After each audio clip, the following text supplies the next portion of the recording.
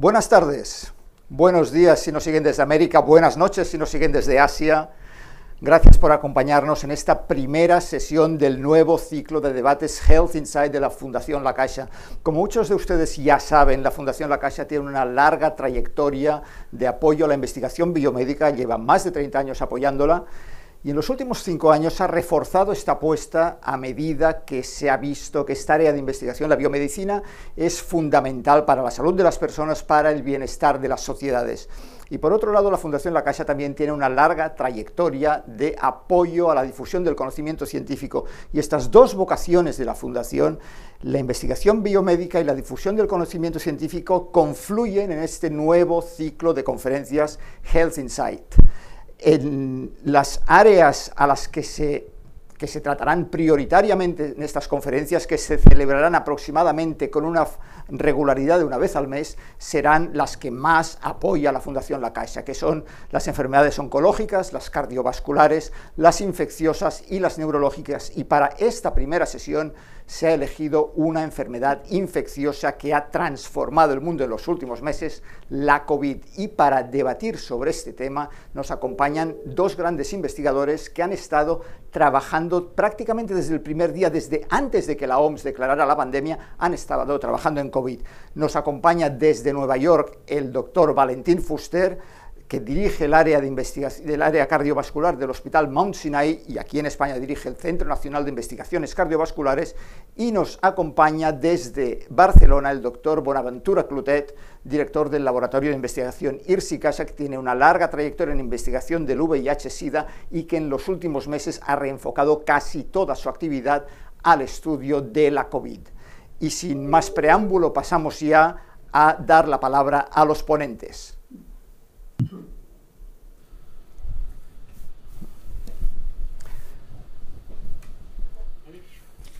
Doctor Fuster, recuerdo hace meses, debía ser el mes de, debía ser el mes de marzo, cuando estaban llegando muchos pacientes al Hospital Mount Sinai de Nueva York y usted estaba involucrado en, el, en la reorganización del hospital para atender toda esta avalancha de pacientes, recuerdo que me dijo, nunca había visto nada igual, nunca había visto una infección igual que actuara de esta manera. ¿Qué es lo que más le ha sorprendido de la COVID? Lo que fue sorprendente es que estábamos viendo individuos que ingresaban, una mortalidad enorme cada día, y, esto no lo habíamos visto nunca, ni leído en ningún sitio.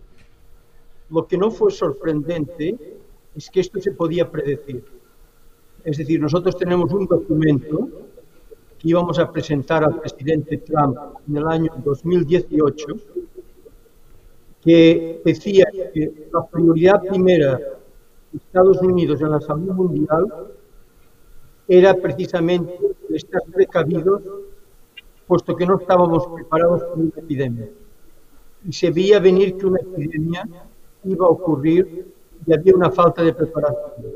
Desgraciadamente no pudimos presentar este documento por muchísimas razones, pero esto se ha publicado.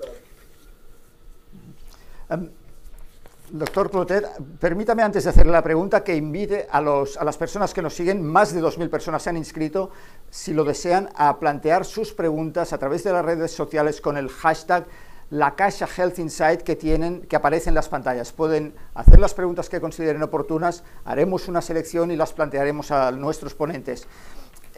doctor Clotet, si me permite, también desde el principio, mm, hay una sensación extendida de que esta epidemia nos pilló a todos por sorpresa. Pero recuerdo también hablando con usted, debía ser el mes de febrero, y ustedes ya estaban en Irsicasha trabajando en, ah, estudiando la inmunidad, buscando a ver si se podía estimular el sistema inmunitario, intentando con eh, test de diagnósticos, a ver qué tratamientos se podían hacer. ¿Usted en ese momento ya veía venir la magnitud de la catástrofe que se avecinaba? Bien, yo si me permite, antes de contestarle a esta pregunta, quiero añadir a lo que el doctor Fuste ha comentado, que realmente ah, el coronavirus lo podía decir más alto, pero no más claro. Ya había salido en el 2002, en el 2011, va a volver a emerger. Creo que la salud animal nunca se contempla o no se contempla suficiente en la investigación y entonces nos encontramos ante hechos como este, porque los animales están hacinados en granjas, contienen muchísimos virus y no se destina dinero a prevenir posibles epidemias que puedan emerger en situaciones y condiciones. Pero dicho esto, y que totalmente de acuerdo con él, que era previsible, nosotros yo creo que nos dimos cuenta de que la situación era, era realmente dramática cuando desde China se anunciaban que había muchos muertos y uh, nadie podía creer que con la globalización que existe esto iba a quedar acantonado allá.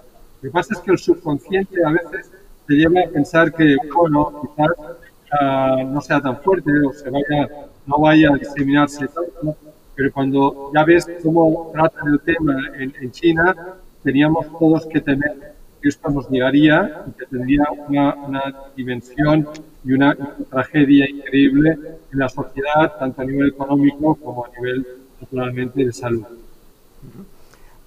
Desde partíamos de la ignorancia absoluta, es una enfermedad completamente nueva. Al principio ni tan solo se conocía este virus, eso es un virus nuevo, y en pocos meses se ha avanzado enormemente en diagnóstico, en tratamiento, en vacunas. Hoy nos centraremos sobre todo en tratamientos. Y hemos aprendido en estos meses que la enfermedad tiene como dos fases. Una primera que se caracteriza sobre todo por una, alta replicación del virus y una segunda en que además hay una respuesta inmunitaria que puede ser contraproducente para el organismo. Y según la fase en que se encuentre un paciente, puede ser más idóneo un tratamiento, una estrategia terapéutica u otra. Y usted, doctor Fuster, ha estado liderando la investigación sobre un tipo de fármacos concretos que es el uso de anticoagulantes para pacientes con COVID. ¿Qué le llevó a esta hipótesis y qué resultados ha obtenido hasta ahora? Bueno, básicamente basado en una experiencia con 7.000 pacientes, hemos visto cuatro etapas de la enfermedad. La primera, asintomática. El 40% de la gente no tiene ningún síntoma y aquí se termina la enfermedad. Luego existe la fase 2, fase benigna, que hay síntomas, pero el paciente no ha de ser hospitalizado. Entonces viene la fase 3 y la fase 4. En la fase 3, el virus ha penetrado en la sangre y empieza a afectar a los órganos. Y aquí hay un sistema inflamatorio, como comentas, un sistema de coagulación de la sangre. Creemos que el sistema inflamatorio es una reacción al virus y este sistema inflamatorio da lugar a la coagulación. Es decir, que este es un sistema crítico, con los órganos empiezan a fallar y la fase última es la fase que se necesita intubación, puesto que hay una destrucción del organismo debido a estos dos procesos importantes, la inflamación y la coagulación. ¿Por qué empezamos a tratar estos enfermos con anticoagulantes? Muy sencillo. En el primer mes yo tuve dos pacientes con coágulo de sangre en las venas que tenían COVID positivo de China decían que la coagulación era importante, los trombos.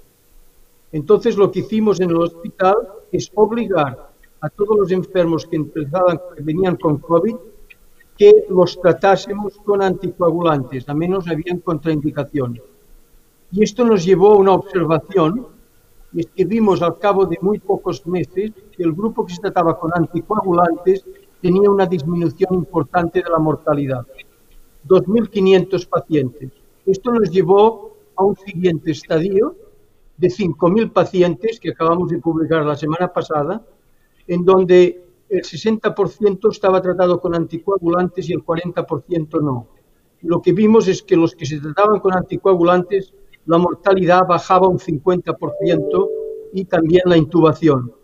Estas son observaciones que hicimos antes de entrar al estudio más formal, que es un estudio randomizado y es un estudio que hemos empezado la semana pasada, un estudio internacional con 70 instituciones en el mundo, en donde estamos tratando a todos los pacientes con anticoagulantes, los tres tipos de anticoagulantes que vimos que eran más eficaces. La heparina subcutánea, dosis terapéutica y profiláctica, y una droga oral, la Pixaban. No utilizamos placebo, puesto que desde el punto de vista ético, visto desde nuestras observaciones, realmente es difícil el decir que no a los anticoagulantes en el paciente que es COVID positivo. Y esperamos tener resultados dentro de los próximos tres meses. Y si me permite una pregunta adicional en esta línea, por lo que usted comenta, el problema de la coagulación aparece en una fase ya relativamente avanzada de la enfermedad. ¿Significa esto que el anticoagulante puede ser útil para evitar que el paciente ya grave evolucione a crítico, pero tal vez no sea tan eficaz en las fases iniciales para evitar que los casos leves evolucionen a graves? Nosotros creemos que la eficacia está en el enfermo que se hospitaliza, es decir, en la fase 3 y la fase 4 creemos que el enfermo que tiene algo de fiebre y que realmente puede quedarse en casa, yo dudo que los anticoagulantes sean necesarios. Como tampoco no creemos que sean necesarios una vez el paciente se va a su casa después de la hospitalización. Es decir, tenemos datos que nos dicen ello, pero creo que esto se ha de valorar con estudios prospectivos. Nosotros nos basamos en el enfermo hospitalizado de fase 3 y fase 4. Hay ah, otro tipo de fármacos distintos de los anticoagulantes que también se están ah, estudiando para, el tratamiento de la COVID y los más, la elección obvia inicial son los antivirales. Y uno de los grandes especialistas de nuestro país en, en tratamientos antivirales es precisamente el doctor Clotet. Hay una primera pregunta que nos llega de la audiencia, que es ¿qué antivirales son más prometedores, más interesantes en este momento para el tratamiento de la COVID? Doctor Clotet. Bien, ah, yo creo primero que hay que centrar bien el papel que tiene Remdesivir. Es el primer antiviral que se demuestra eficaz, que eh, reduce, ah, reduce estancia y cuando la N es grande, el número de pacientes estudiados es grande, reduce mortalidad. Y lo, que tiene el estudio de esta enfermedad es que no hemos individualizado bien las fases en las que ensayamos los tratamientos y a veces se mezclan fases más iniciales y menos peligrosas para el paciente con otras más avanzadas y no hay una distinción clara. Y esto hace que a lo mejor no saque valor el tratamiento, por ejemplo, con uh, Remdesivir en, en, unas etapas uh, muy más iniciales en las cuales la evolución natural de la enfermedad ya también es hacia la curación. Con lo cual, en ese contexto, necesitaríamos poder uh, disponer de un número de participantes elevadísimo, como los que comenta el doctor Fusté, y esto nos permitiría sacar conclusiones de etapas muy iniciales. Yo creo que Remdesivir es un fármaco que tiene un gran futuro, pero que saldrán muchos otros, se están ensayando otros fármacos en estos momentos, y uh, en nuestro centro coordinamos, el doctor Roger Paredes es el coordinador a nivel uh, estatal y a nivel europeo de un estudio con el NIH de distintos fármacos que combinan antivirales con antiinflamatorios. Y lo que está claro es que hay que dar un antiviral con un antiinflamatorio, obviamente con heparina bajo peso molecular o el tipo de heparina que sea, y más menos todo el tema de las, sustancias inhibidoras de las citocinas. Y entonces, si mezclamos la dexametasona con las al Remdesivir y con los inhibidores de las, de las interleucinas, creo que estamos consiguiendo un, un, efecto muy importante que ha reducido muchísimo la mortalidad en nuestros pacientes. Nos ha introducido un nuevo tipo de fármaco que es la dexametasona. Este ya no es ni anticoagulante ni antiviral, es otro tipo de fármaco, es un corticosteroide.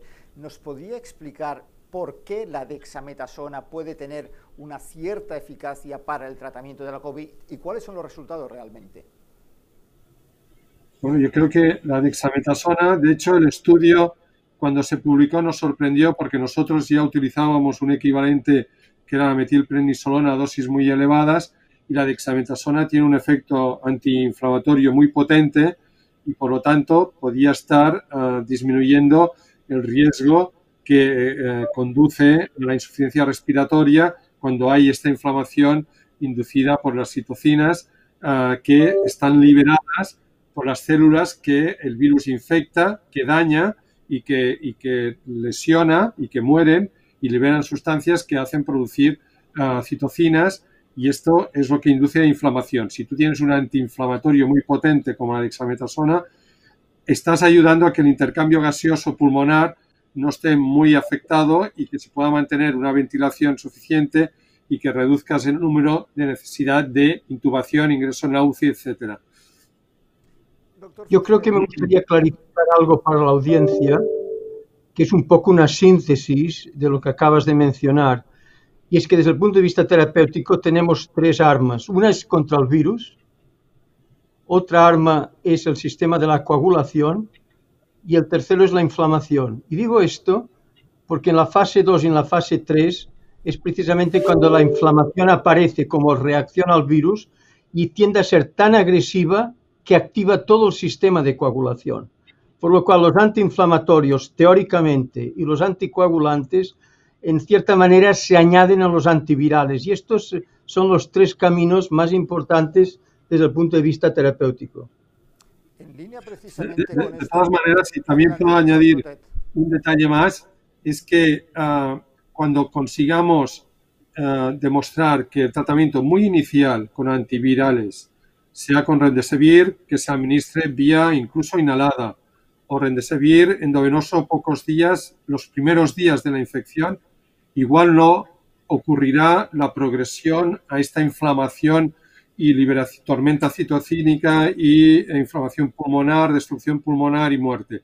O sea, lo que está claro es que, lo que lo causa es el virus y si podemos atajar esta replicación viral y este, este virus en un inicio, podríamos conseguir evitar toda la secuencia de estadios que ha mencionado uh, antes el doctor Fuster.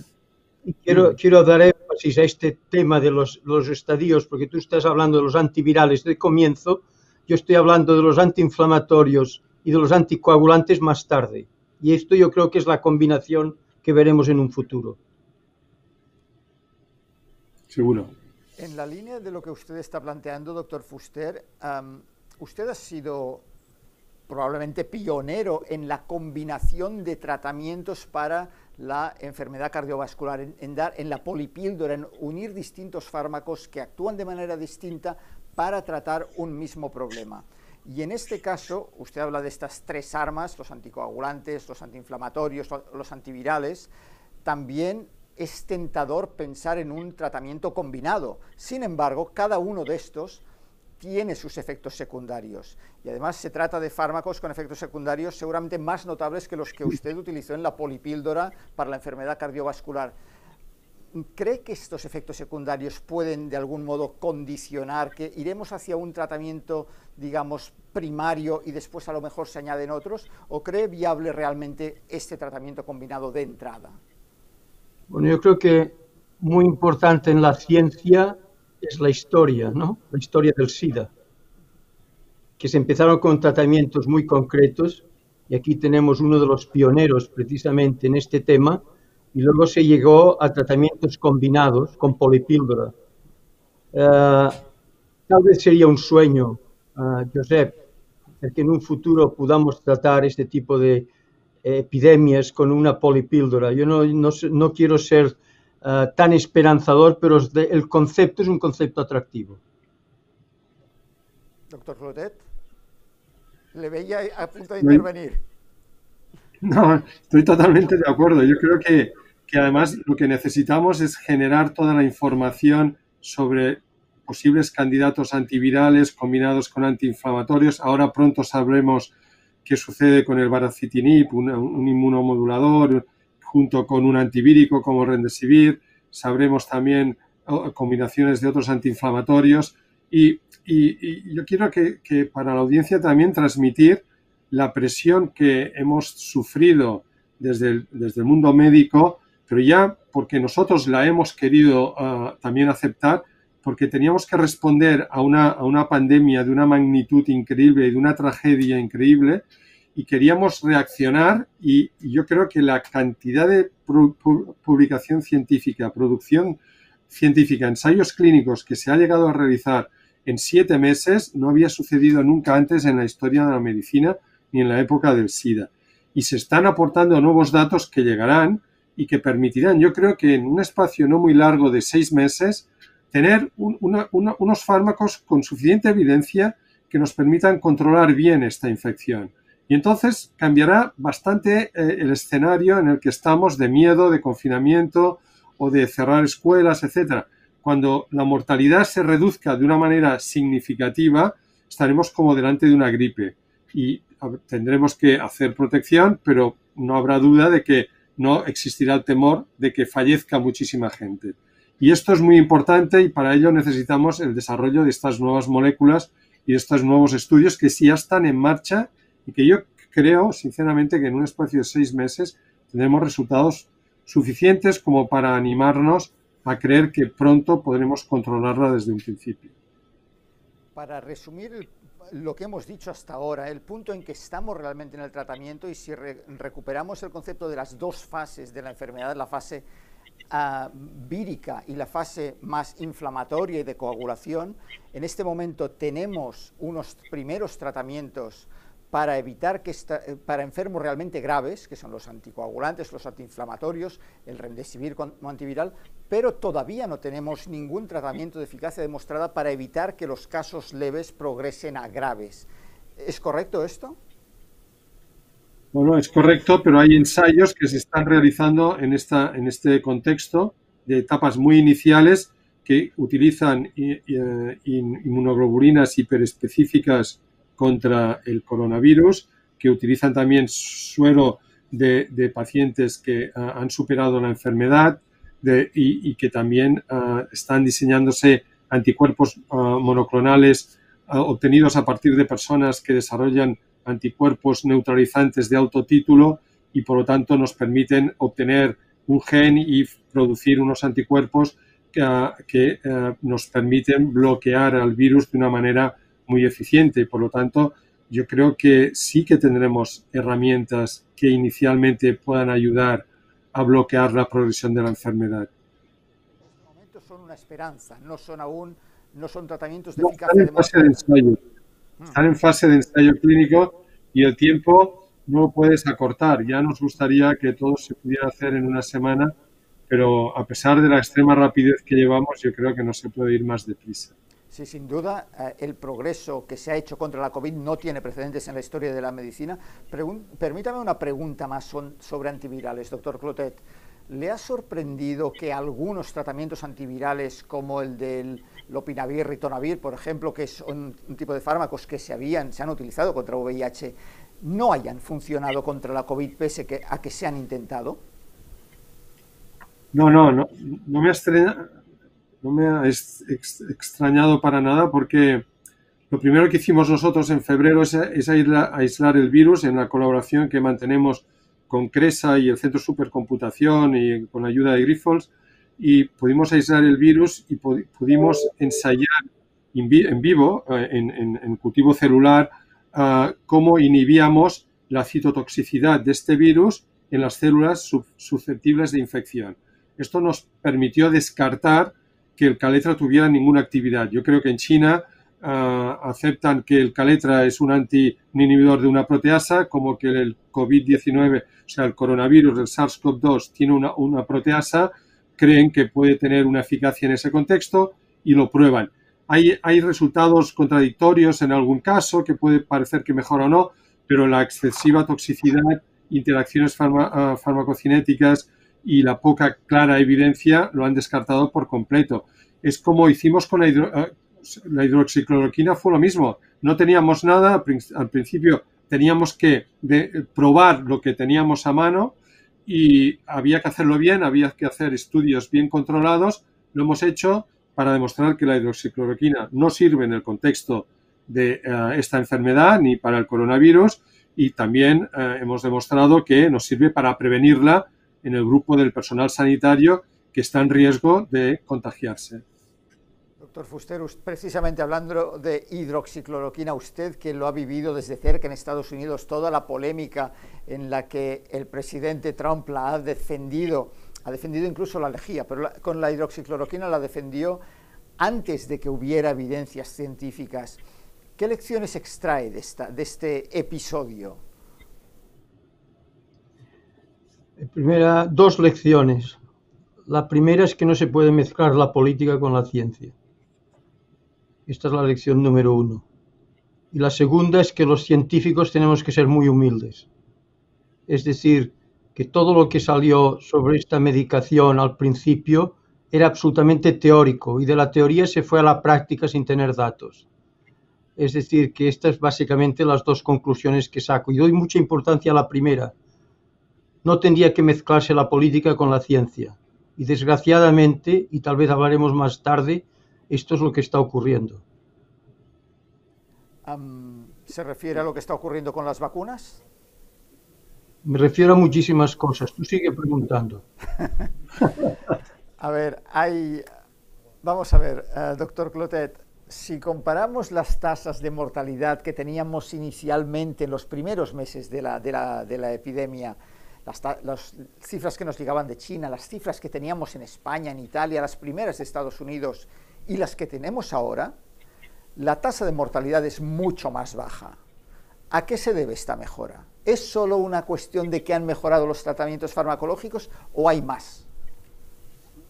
No, yo creo que básicamente es uh, al mejor conocimiento de la enfermedad, del tratamiento, de la necesidad de ingreso más anticipado a que exista una gran afectación pulmonar. Yo recuerdo al principio que era, estaba colapsado el sistema sanitario, no había lugar para los pacientes, se les mandaba a casa hasta que se ahogaran y entonces cuando se ahogue mucho vuelva. Claro, es un poco el equivalente a que si alguien tiene un cáncer o tiene un angor, le diga, no, cuando haya hecho un buen infarto, entonces venga que ya le, ya le trataremos. No, hay que uh, intentar intervenir en las etapas muy iniciales y esto es lo que uh, estamos haciendo ahora.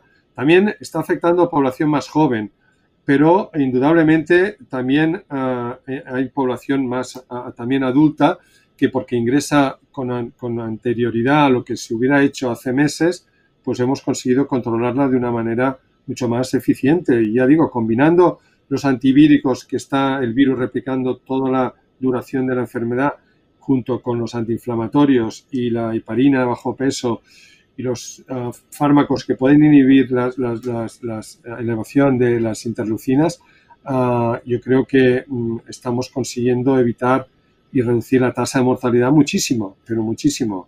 Ahora bien, hay que poder generalizar todos estos tratamientos a todos los centros, a todos los pacientes y ver qué ocurrirá también cuando de la gente joven y de los niños con las escuelas se traslade esta, estas nuevas infecciones hacia la gente mayor y tendremos que poderla identificar también muy pronto, muy rápido, para poderla tratar también muy inicialmente y evitar así que fallezca.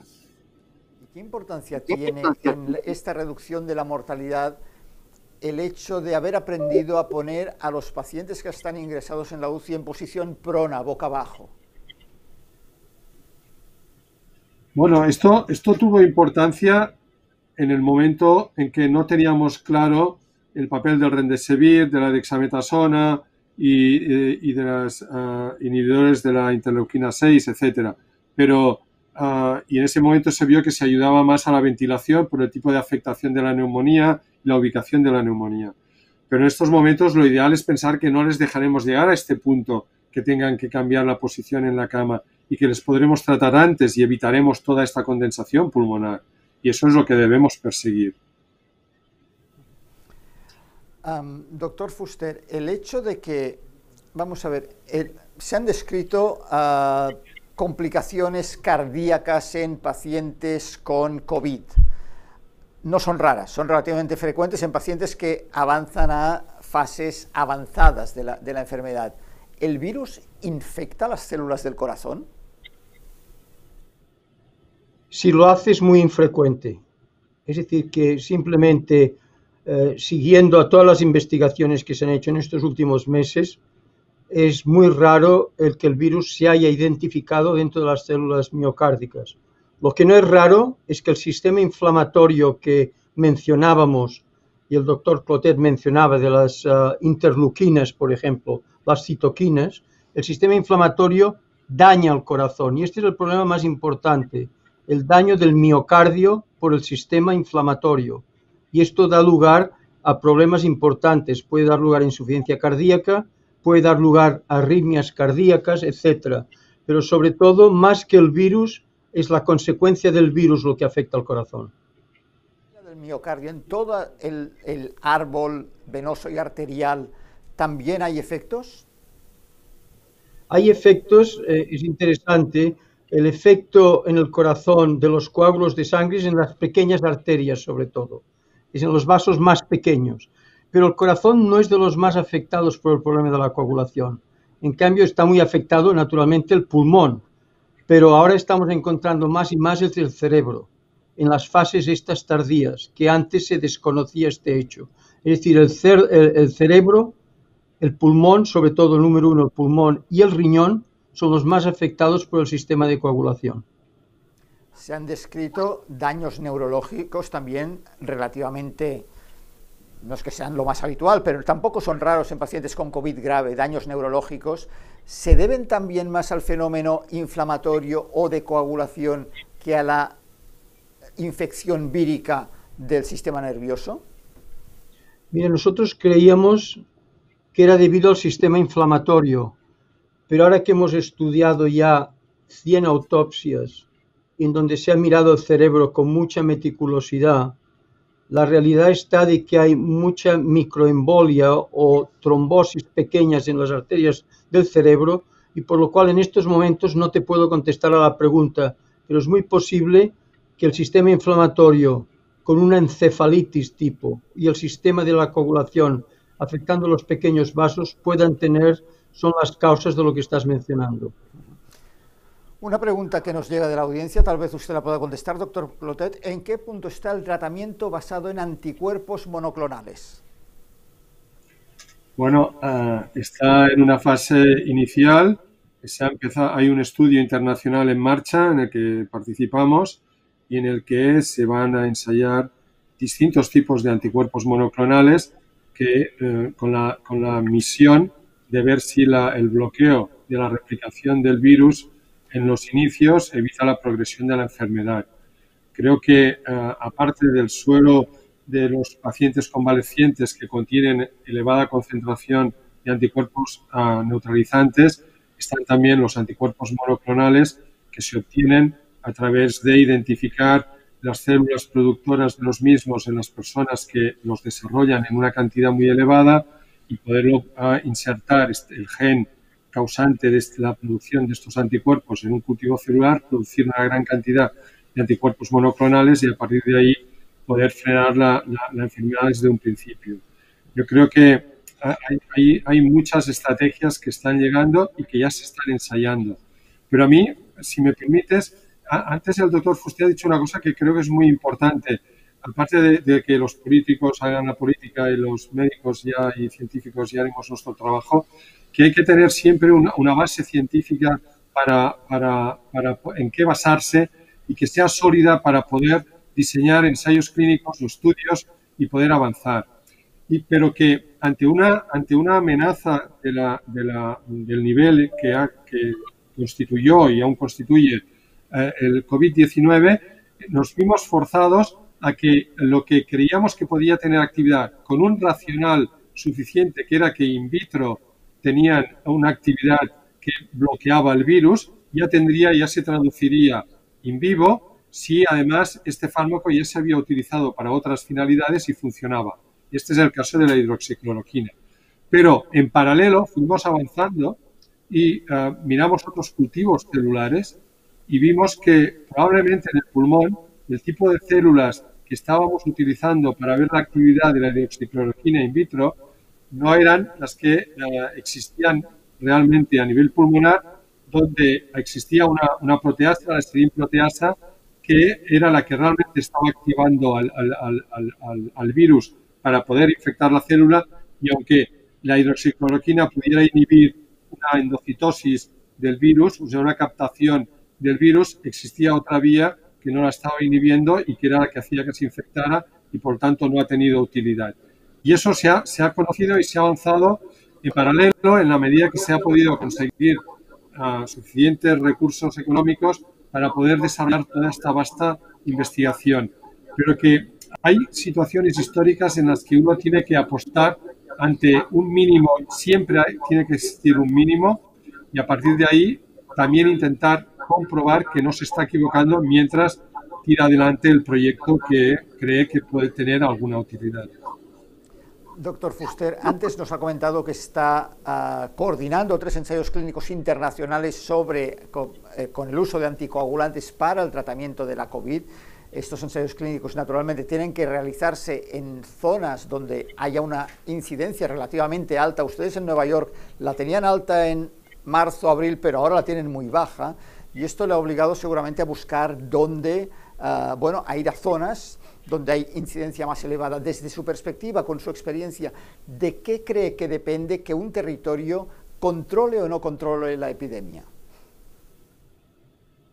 Bueno, yo te diré tres factores fundamentales.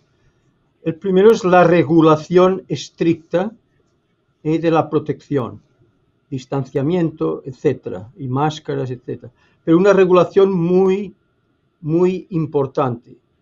Esto lo hemos visto en países Nueva Zelanda, Australia, Taiwán, etcétera, donde incluso en la cuarentena hay policías fuera de los hoteles para que no salga la gente que tiene que estar en cuarentena. Simplemente este es un punto importante. Después hay otro punto uh, que para mí es también fundamental y es, no es nosotros, la población. Resilience, resiliencia. Es decir, tenemos que tener muchísima paciencia en no, en no intentar solucionar los temas en un día. Y esto supongo que hablaremos de aquí un momento, que es lo que esperamos en un futuro. Pero hay un tercer punto que um, a mí me gustaría dar mucha importancia y es el tema de la, esta interacción entre lo que es el liderazgo y la comunidad. Esto es un tema fundamental.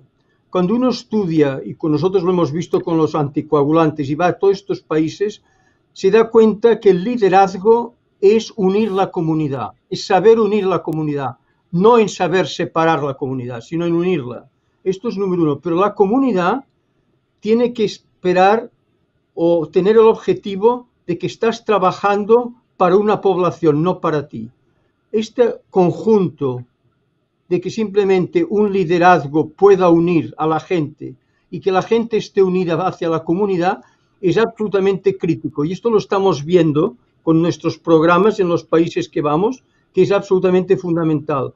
Y no me de, y dejo simplemente de hablar, porque hablarás aquí un momento, es de las vacunas, es de, o de las vacunas, de los tests.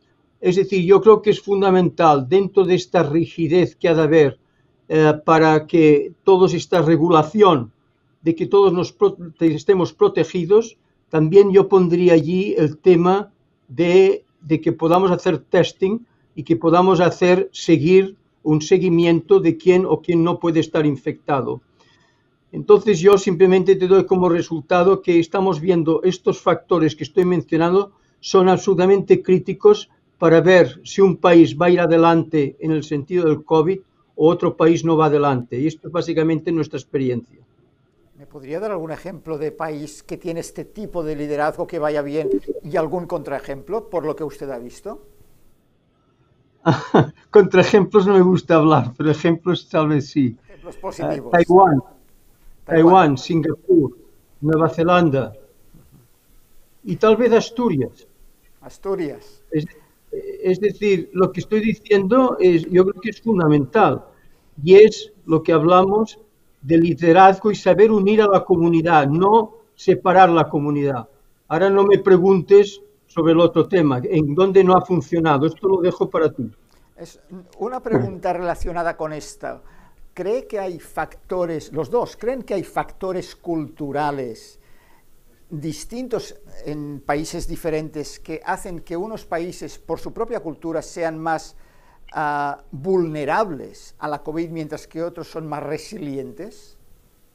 ¿Puedo contestar a esta pregunta primero? Hablo de Estados Unidos. Nuestra experiencia en Estados Unidos es típica de tu pregunta. Es un país individualizado en donde aquí lo que funciona es la individualidad y precisamente esto va en contra de todo lo que yo te he dicho. Mira que en Estados Unidos han muerto 200.000 personas y en el resto del mundo un millón. ¿Tú sabes lo que estoy diciendo? Lo que estoy diciendo es que esta cultura, digamos, uh, de que tú eres tú y tú vas a ir adelante y no tienes en cuenta el aspecto más comunitario, yo creo que este es un ejemplo, y me sabe mal decirlo, porque es un país que tiene cosas muy buenas, pero esta es una realidad que ha ido en contra de la, del beneficio del, de que pudiéramos tener con el COVID-19. ¿Coincide, doctor Clotet?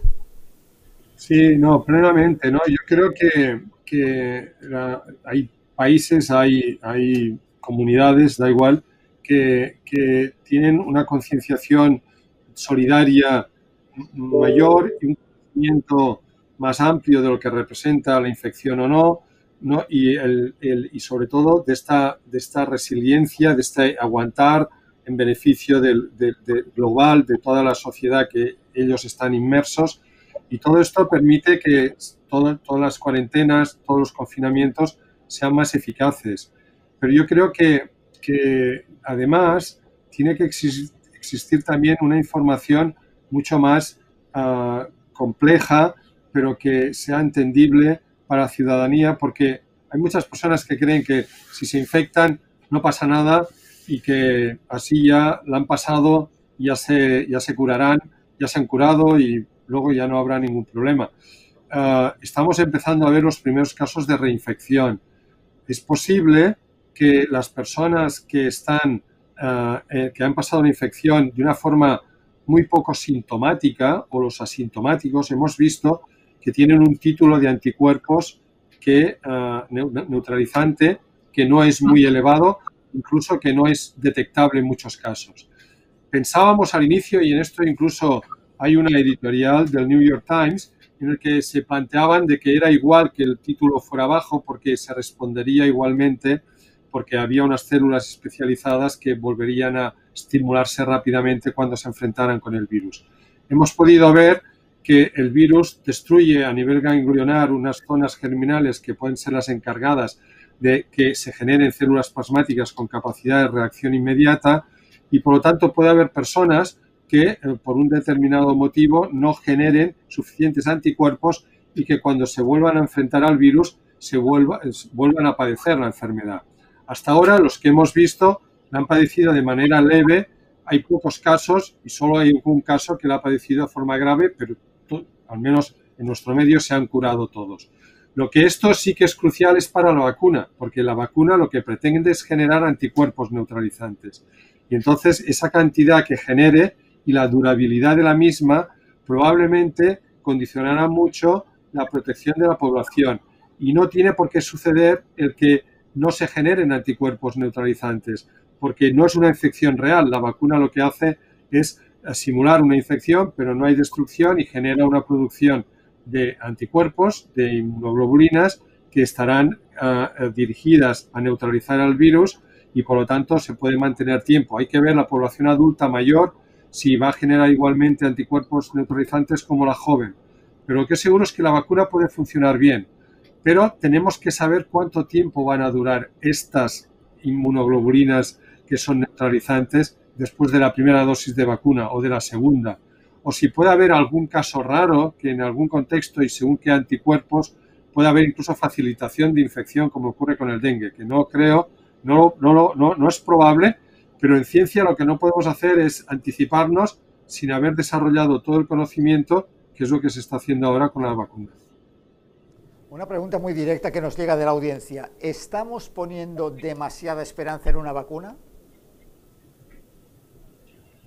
Bueno, yo puedo contestar como ciudadano y él eh, estará como microbiólogo. Como ciudadano, la verdad es que esta, esto va a durar un tiempo, dos, tres años, ya bajando progresivamente con vacuna o sin vacuna. El problema de la vacuna, como yo lo veo, es que no es un tema tan simple como la gente quiere o la gente piensa. Es decir, que yo simplemente te doy ahora la palabra para que, en fin, ¿qué es lo que opinas? No, no, coincido plenamente con Valentín Fusté y, estoy totalmente de acuerdo. Uh, lo que sucede es que lo que será un game changer, lo que nos hará que esta epidemia cambie, será encontrar un tratamiento que frene la progresión a etapas evolucionadas y que disminuya eh, de una manera clara la tasa de mortalidad y que se reduzca al nivel de la gripe o incluso menos y eso es lo que cambiará mucho la, percepción, la dinámica y, y, el, y, todo el problema social que existe y, laboral y político, etcétera, pero además también serán los test rápidos.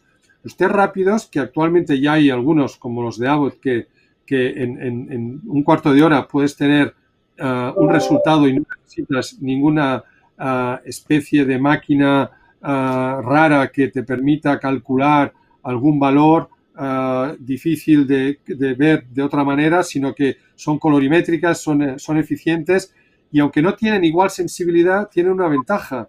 No tiene igual sensibilidad que la PCR, pero tiene una ventaja, que puedes hacer varias porque son muy baratas y eso te aumenta muchísimo la sensibilidad porque si cada dos días puedes hacer una, porque vale 20, 20 euros cada test, esto es fenomenal y por lo tanto te permite llegar a un control claro de las áreas en las que el virus se está introduciendo y eh, identificando rápidamente la gente que está empezando a, a, diseminar el virus porque se acaba de infectar, la puedes aislar y la puedes tratar porque también tendrás tratamientos. Y esto es lo que en un año lo tendremos todo bastante, bastante ya uh, a punto para que nos permita pues, tener más seguridad. Y la vacuna llegará, pero como dice el doctor Fusté, yo creo que no será antes de dos años.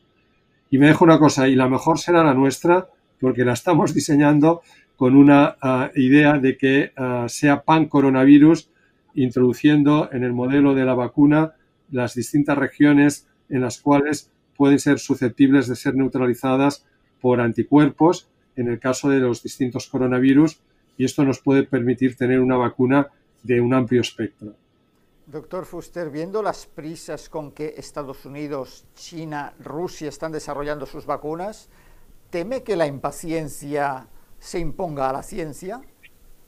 Sí, lo temo.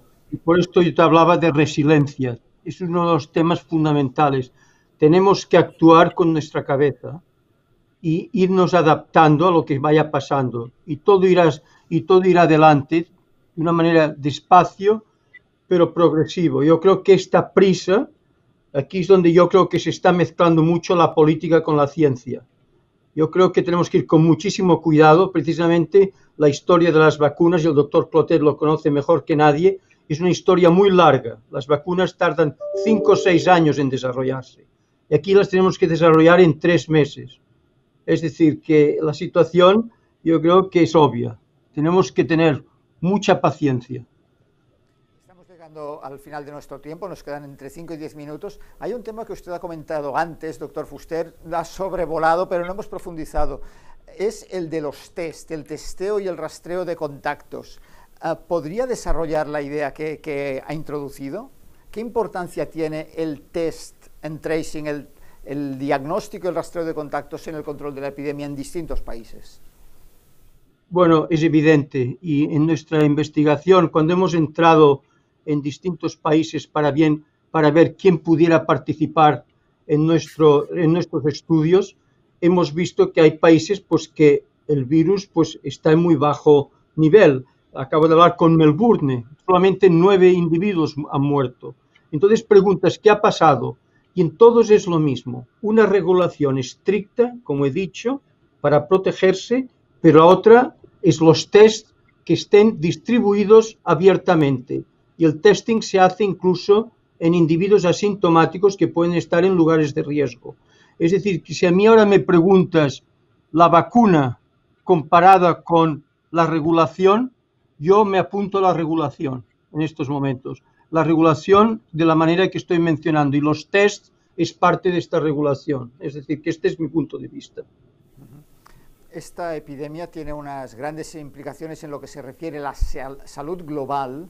¿Temen que una vez resueltos los problemas científicos más inmediatos, una vez haya mejores tratamientos, haya incluso vacuna, haya diagnóstico, permanezcan los daños económicos, acentúe las desigualdades sociales, acentúe la pobreza en algunos países y que los efectos a nivel de salud global sean a muy largo plazo?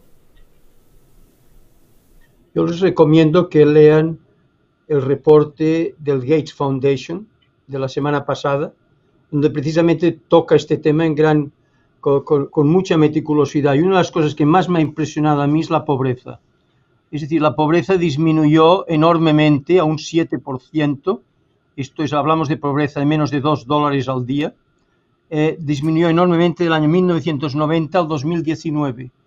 y nos, creemos que en estos últimos meses ha aumentado en 40 millones de individuos más están, eh, han entrado en pobreza. Lo que estoy diciendo es que el tema económico es un tema absolutamente crítico. El tema psicológico es absolutamente crítico.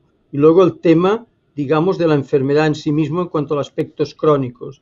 Es decir, aquí no hemos hablado de la economía hoy, no hemos hablado demasiado, pero es decir que esto tenemos que sospechar, sospechar muchísimo dónde vamos y cómo vamos. Pero este no, tengo, no puedo más decir, pero sí que recomiendo que se lea el, el reporte de la Fundación Gates. Es muy completo.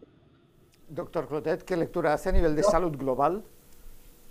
No, aparte de que, de nuevo, no coincido plenamente con el doctor Valentín Fusté y en esa lectura recomendada, yo creo que lo importante es que pensemos que, que cuando se acabe el COVID, porque todo se acaba, uh, sería muy iluso el uh, no reconsiderar que la salud tiene que ser global y que tiene que enfocarse de nuevo la salud humana y la salud animal y anticiparse, anticiparse a nuevos brotes de nuevas epidemias de virus que puedan ir mutando.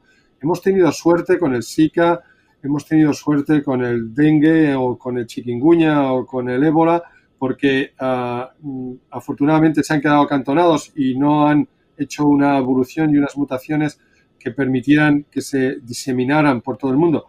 Pero es que puede ocurrir con el coronavirus, con otros virus. Estamos, los virus fueron los primeros en este universo y serán los últimos y vamos a tener virus siempre, con lo cual ellos se van adaptando al medio, van transformándose y siempre van buscando la manera más óptima en la cual se pueden ir replicando.